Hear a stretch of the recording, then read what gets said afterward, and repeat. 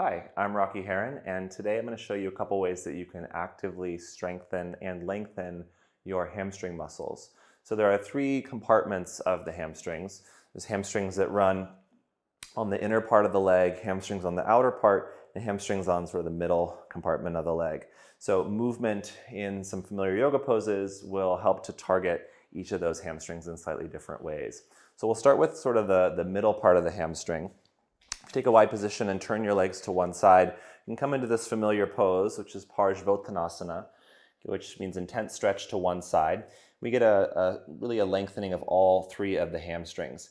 Now, oftentimes in these postures, we outsource the weight responsibility or the support of our legs into our arms and sort of fall over our legs. And this would be an example of more of a passive or an inactive uh, stretch for the legs.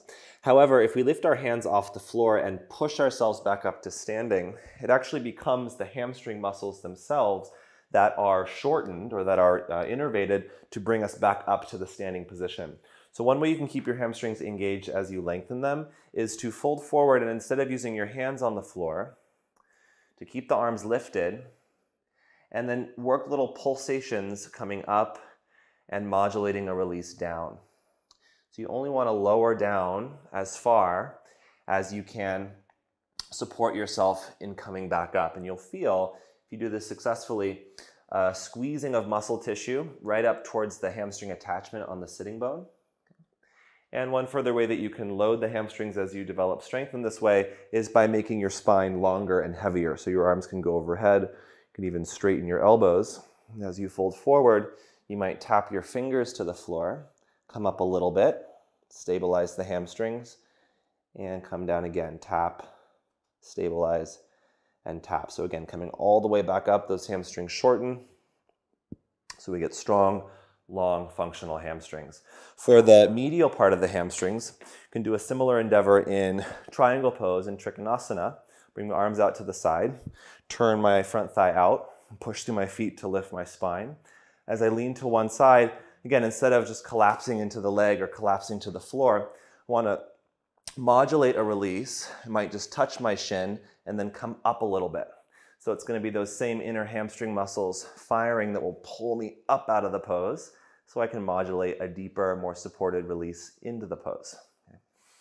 Now, in your normal practice, if you practice at a studio, if a teacher isn't necessarily teaching in this way, just simply taking your hand off the floor or off the block for a moment, pushing through your legs and stabilizing.